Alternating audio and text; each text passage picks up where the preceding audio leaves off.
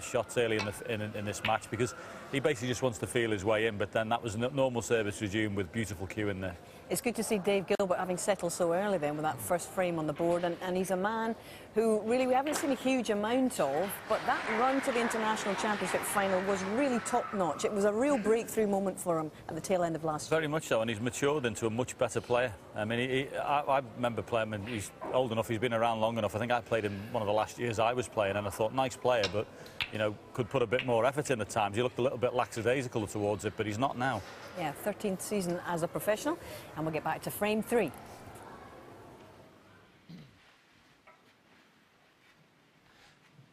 Yeah, he just joined us as he missed that attempted red, but uh, I think he's got away with it. Blue's blocking the path, or maybe... Oh, it will pass the blue, so he didn't get away with it. One.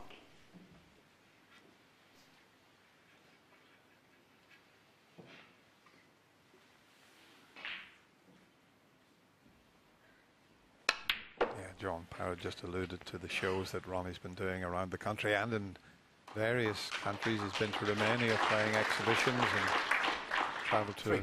various venues throughout Europe. But his interview with the Welsh I find so funny. He pops this red, I'll tell you. He was interviewed and he said uh, Four. he uses the tournament for practice for his exhibitions. Never heard that one before, Stephen but you always get something uh, different from Ronnie. But he's loved doing the shows. I've done a few with him and great nights. People, even in small clubs, come along and pay a lot of money to see him. And he's made uh, a fair few maximums in those shows. But make no mistake, he'll have put a lot of practice in on uh, proper match tables. The exhibition tables and club tables, the pockets are much easier. Couldn't go straight from playing on bigger pockets, you'd be lost.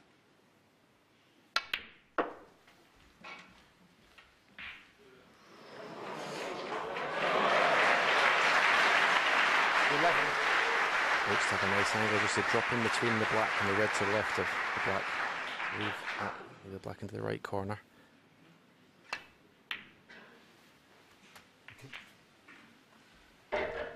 12. That cannon.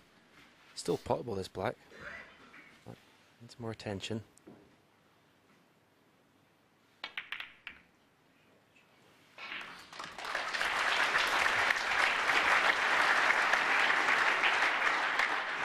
Nineteen.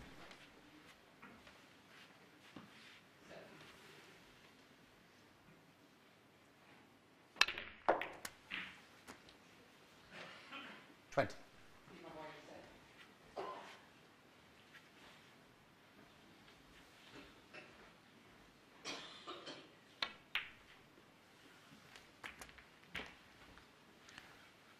Last frame lasted just uh, over eight and a half minutes.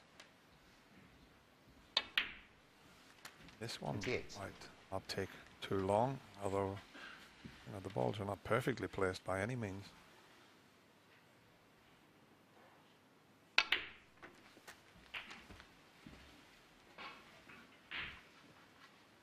Thirty-five.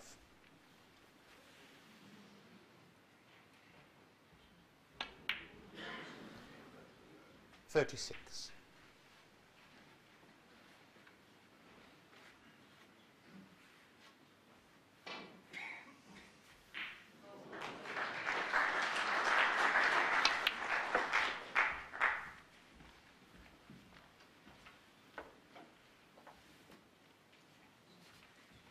Thirty-nine.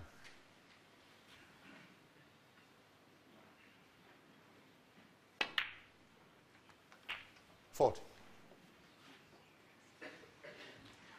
It's fallen off the cushion. It was going to be perfect on the black.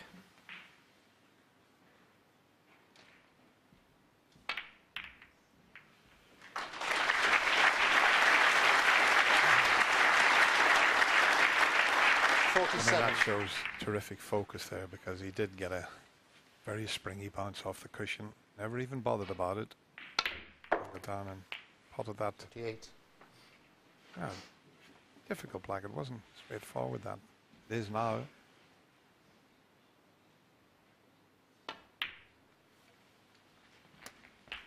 Well, as I mentioned, uh, didn't think this frame was going to last very long either, and it's proven to be.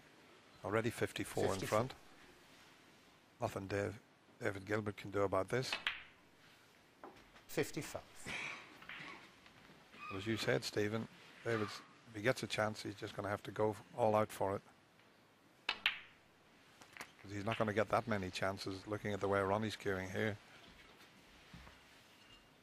62. 63.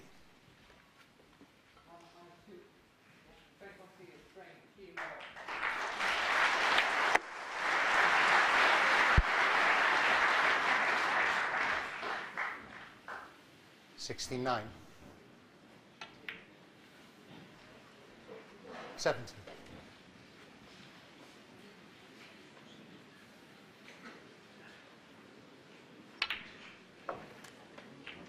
Not going to be easy to make a century break because of the red near the cushion.